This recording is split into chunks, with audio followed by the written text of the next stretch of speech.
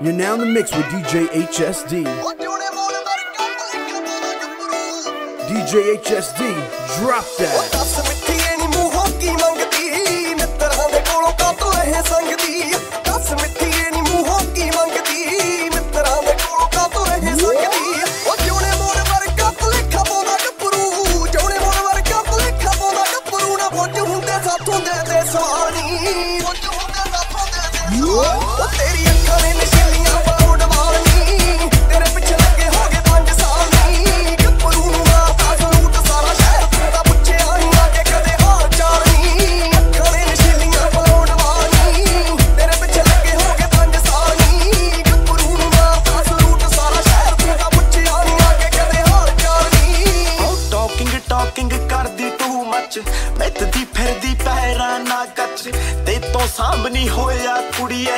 ਜੱਟ ਸੀ ਪੂਰਾ ਬੈਲੀ ਨਹੀਂ ਟੱਚ ਦਿਲ ਪੀ ਗਏ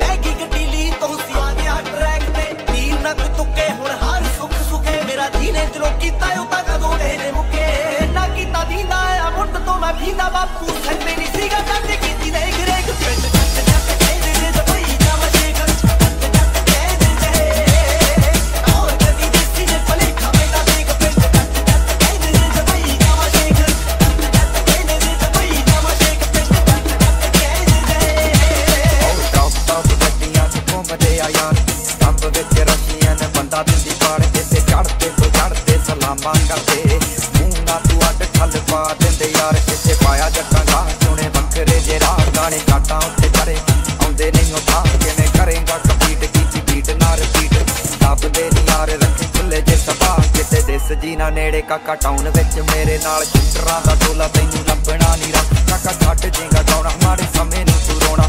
ਲੰਘ ਗਿਆ ਟਾਈਮ ਤੇਰੇ ਹੱਥ ਨਹੀਂ ਹੋਇਆ ਆਉਣਾ। ਕੀਤੀ ਨਹੀਂ ਉਹ ਕਾਪੀ ਵੇਵ ਨਵੀਂ ਅੱਜ ਲਾਈ। ਮੇਰੇ ਸ਼ਹਿਰ ਵਿੱਚ ਵੇਖੇ ਪਿੱਟ ਲਾਉਂਦੀ ਚੜਾਈ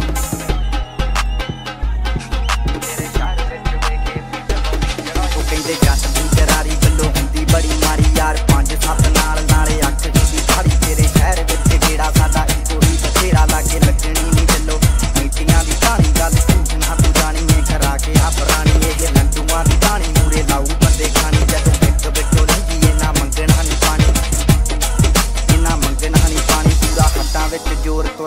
ਵਾਲੀ ਤੋਰ ਜੱਥੇ ਵਾਰ ਤਹਤ ਹੋਗੀ ਉਹ ਸਾਡਾ ਹੂ ਸੀਨ ਰੱਖਾ। ਡਿੱਗੀ ਵਿੱਚ ਅਸਲੇ ਤੇ ਜੇਬੀ ਵਿੱਚ ਸੀਮ ਟੌਪ ਟੌਪ ਗੱਡੀਆਂ ਤੇ ਘੁੰਮਦੇ ਆ ਯਾਰ। ਟੱਪ ਵਿੱਚ ਰੱਖੀਆਂ ਨੇ ਬੰਦਾ ਦਿੰਦੀ ਪਾੜ ਕਿਤੇ ਚੜਦੇ ਤੋਂ ਚੜਦੇ ਸਲਾਮਾਂ ਕਰਦੇ। ਮੂੰਹ ਨਾ ਤੂੰ ਅੱਡ ਠੱਲ ਪਾ ਦਿੰਦੇ ਯਾਰ ਕਿਤੇ ਪਾਇਆ ਜੱਟਾਂ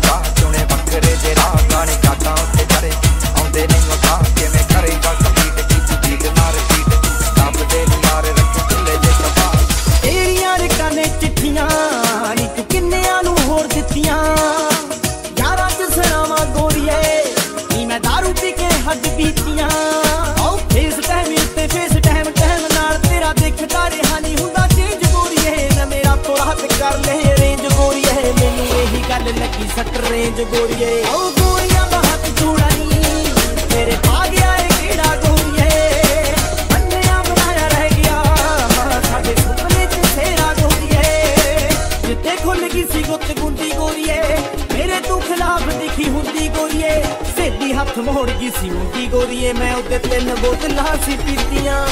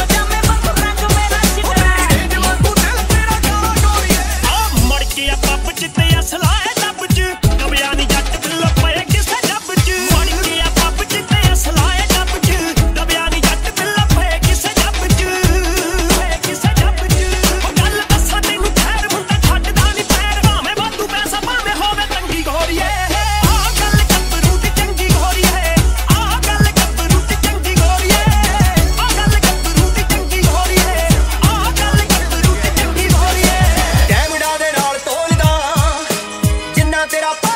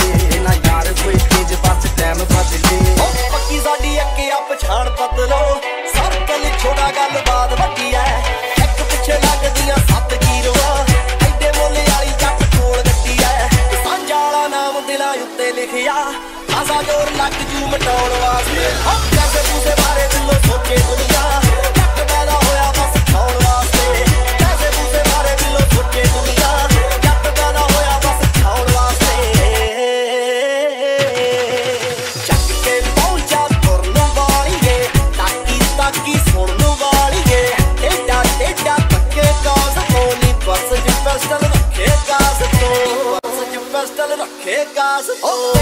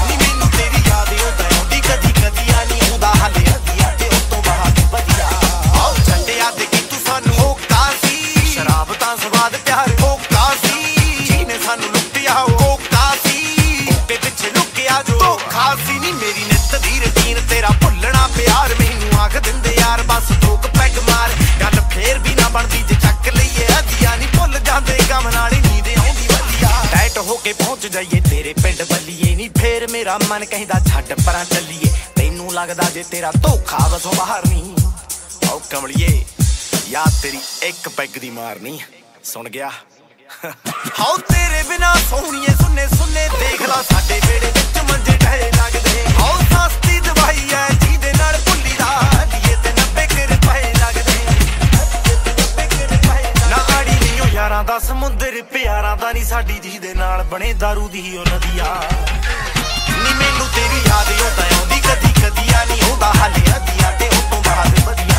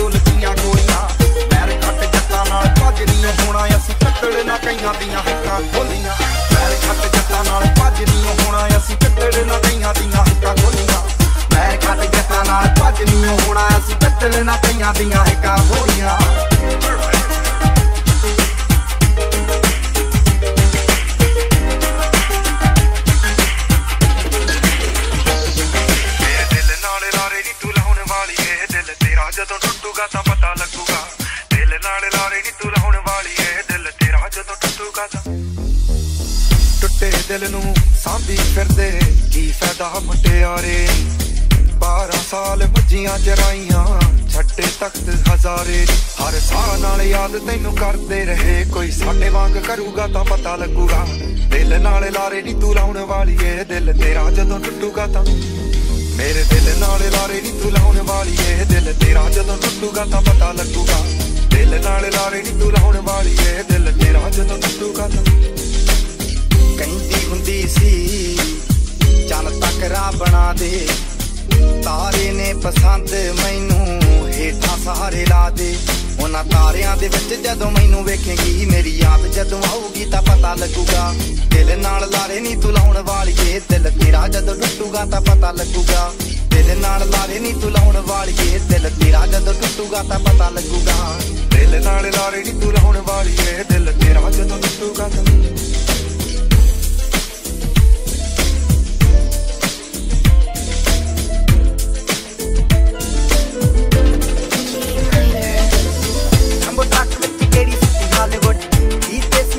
ਮੁੰਡਿਆਂ ਦੇ ਬਾਲੀਵੁੱਡ 뮤직 ਦੀ ਬੇਵਾਨਾ ਭਾਰਤੀ ਕੋ ਫੇਵਾ ਗਾਉਣਾ ਵੀ ਆਉਂਦਾ ਤੇ ਲਿਰਿਕਸ ਚੰਗੇ ਜਿਹੜੇ ਚੱਲ ਗਏ ਸੀ, ਕਿਸੇ ਤੋਂ ਨਾ ਠੱਲ ਗਏ ਸੀ, ਉਹਨਾਂ ਦਾ ਬਣਾਉਂਦੇ ਆ ਕਲਾਉਣ ਮੁੰਡੇ। ਬਰਾਉਨ ਮੁੰਡੇ। ਆਉ ਦੇਸੀ ਜੇ ਗੀਤਾ ਟਰੈਪ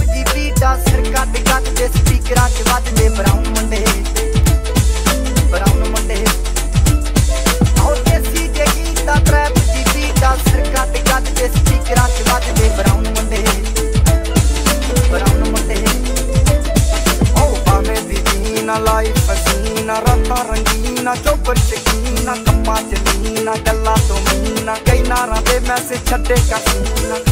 पके तरा गया ना उठते जवा गया दारू से करते डरम मुंडे डरम मुंडे ऐसी जे गीता ट्रैप की बीटा सिर कट गजले स्पीकरा स्पीकर बजदे बरम दे बरम मुंडे और ऐसी जे गीता ट्रैप ਦੀ ਬੀਟਾ ਸਿਰ ਕੱਟ ਗੱਜ ਦੇ ਸਪੀਕਰਾਂ ਤੇ ਵੱਜਦੇ ਬਰਾਉਣ ਮੁੰਡੇ। ਬਰਾਉਣ ਮੁੰਡੇ।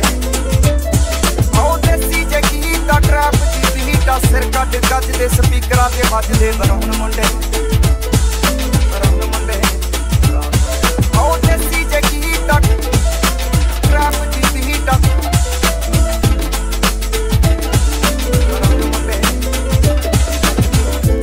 can visit us on our website at www.eminencent.com or call us at 647 449 7034.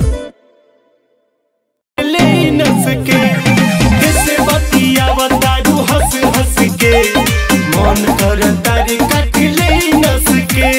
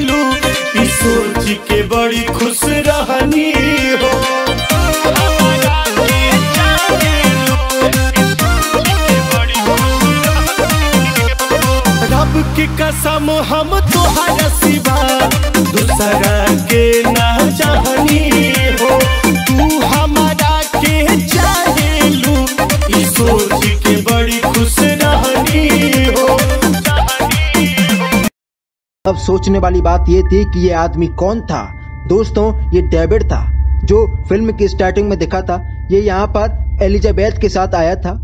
David इन सभी को एलियन के बारे में सब कुछ बता देता है। डेविड ने यहाँ पर कई चीज़ों पर एक्सपेरिमेंट भी किए होते हैं। वो बहुत ही स्वार्थी हो चुका था। हमें यहाँ पर पता चलता है कि वो जब यहाँ पर आया था तो यहाँ पर कई सारे लोग रहते थे, लेकिन डेविड ने उन सभी को मार दिया था, यानी कि मौत की नींद सुला दिया था, क्योंकि डेविड ने उन सभी पर एक्सपेरिमेंट किए थे। वो ये बातें दूसरे रोबोट को बता रहा हो। दोस्तों, ये डेविड था, जो फ़िल्म की स्टार्टिंग में दिखा था। ये यहाँ पर एलिजाबेथ के साथ आया था। डेविड इन सभी को एलियन के बारे में सब कुछ बता देता है। डेविड ने यहाँ पर कई चीज़ों पर एक्सपेरिमेंट भी किए होते हैं। वो बहुत ही स्वार्थी हो चुका था। हमें यहाँ पर पता चलता है कि वो जब यहाँ पर आया था तो यहाँ पर कई सारे लोग रहते थे, लेकिन डेविड ने उन सभी को मार दिया था, यानी कि मौत की नींद सुला दिया था, क्योंकि डेविड ने उन सभी पर एक्सपेरिमेंट किए थे। वो ये बातें दूसरे रोबोट को बता रहा होता है, वो कहता है कि तुम ये बातें किसी और को नहीं बताओगे, क्योंकि तुम भी मेरी तरह उन्हें हमला कर दिया होता है। और देखते ही देखते वो सभी उससे अपना भोजन बना लेते हैं। और मेलिनी और साथी भी वहाँ पहुँचते हैं, लेकिन वो भी उन हाइब्रिड बच्चों के प्लान का एक हिस्सा होता है। वो बच्चे अब उन्हें भी घेर लेते हैं। इसके बाद मेलिनी और उनके बीच एक फाइट होती है, जिसके बाद वो बच्चे वहाँ से भाग जाते हैं। अब ये सभी लैब पहुँच जाते हैं। वहाँ मौजूद कैलरिन अब लैब में एक गैस फैला देती है, जिसकी वजह से कैलरिन को छोड़ सभी बेहोश हो जाते हैं। इसके बाद डॉक्टर मेलिनी को घसीट कर ऑपरेशन के लिए ले जाती है। अब ये सच सामने आता है कि डॉक्टर कैलरिन को एक ब्लड इन्फेक्शन लेकिन इनमें से कोई भी उसकी बातों पर विश्वास नहीं करता। अब सिवाज एलेक्स को उसकी कैंपिंग वाली जगह पर ले चलने को कहता है। इसके बाद एलेक्स इनके साथ आगे बढ़ने लगती है। रास्ते में इनको एक पलटी हुई बस मिलती है। नेट जब उस बस को चेक करता है तो उसमें एक गन और एक चाबी मिलती है। मिली हुई गन को नेट अपने पास छुपा लेता है, जिसे वो वोल्टर को दे देता है। गाड़ी को खोलने पर इनको उसमें ढेर सारा पैसा मिलता है। सिवाज सबको दो दो भाग लेकर आगे चलने को कहता है। लेकिन वोल्टर जख्मी था, इसलिए वो बैग ढोने से इनकार कर देता है। सिवाज के फोर्स करने पर वोल्टर उस पर नेट की दी हुई गन के साथ हमला करने की कोशिश करता है। लेकिन उसमें गोली नहीं होती। सिवाज को इससे बहुत गुस्सा आता है और वहाँ जितने भी पिग आते हैं, वो इन्फेक्टेड होते जो किसी को भी नुकसान पहुँचा सकते हैं। इसलिए वो उन्हें मार देती है। अब ये लोग मैकेनिक की तलाश में उस औरत के साथ उसके घर पहुँचते हैं। अब बातों ही बातों में हेनरी का ज़िक्र होता है, जो वो उनसे हेनरी के लुक के बारे में पूछती है। और एक फ़ोटो भी दिखाती है, वो कहती है कि हेनरी उसका कजिन है। ये सुनते ही दोनों काफ़ी घबरा जाते हैं और वहाँ से जाने का फैसला करते हैं। अब सीन शिफ्ट होता है और दिखाया जाता है कि कैबिन के पास एक लेडी इंस्पेक्टर आती है, जिसका नाम विंगस्टन होता है। उसे पोल बताता है कि उन पर एक इन्फेक्टेड इंसान ने अटैक कर दिया था। वो अब रिपोर्ट लिखती है, लेकिन उस वक्त उस इंस्पेक्टर का बिहेव थोड़ा अजदर्द होता है। वो जब जूते निकालता है तो वो हैरान रह जाता है। वो देखता है कि उसका पैर एक भेड़ की तरह हो गया है। अब उन्हें कई भेड़ अपनी ओर आते हुए नज़र आते हैं। ये देखते ही वो भागने लगते हैं। भागते भागते एक लैब में चले जाते हैं, जहाँ भेड़ों पर एक्सपेरिमेंट किया गया था।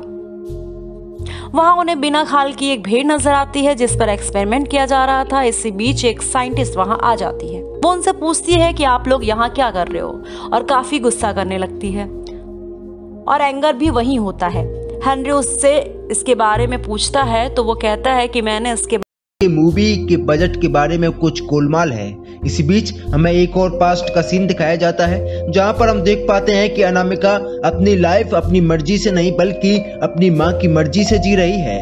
और उसे ये पता चलता है कि उसके पति और उसकी माँ ने बैंक अकाउंट के सारे पैसे निकाल लिए हैं। ये बात जानकर वो अपने प्रेमी के पास चली जाती है और उससे कहती है कि आई एम विद यू यानी कि मैं तुम्हारे साथ हूँ। और फिर आगे कहती है कि मैं तुम्हारे साथ लंदन जाने के लिए तैयार हूँ। जिसके बाद अनामिका अपने घर पर आती है तो हम देख पाते हैं कि उसका पति कोई कांटेक्ट नहीं हो पाता है। अब डिलन यही सोच रहा था कि ये सब थ्रेडियस की गेम है, क्योंकि सारे हॉर्समैन्स ने मिलकर उसको अरेस्ट कराया था।